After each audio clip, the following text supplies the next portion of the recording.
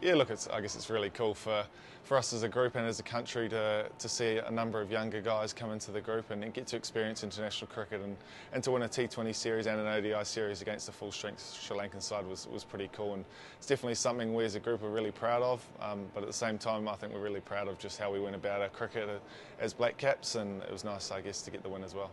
And just quickly on this series, uh, you look at the Pakistan um, players that are going to have available. It's going to be pretty full strength. Uh, yeah, how does the side look at that challenge that's ahead for the both series, five games of each?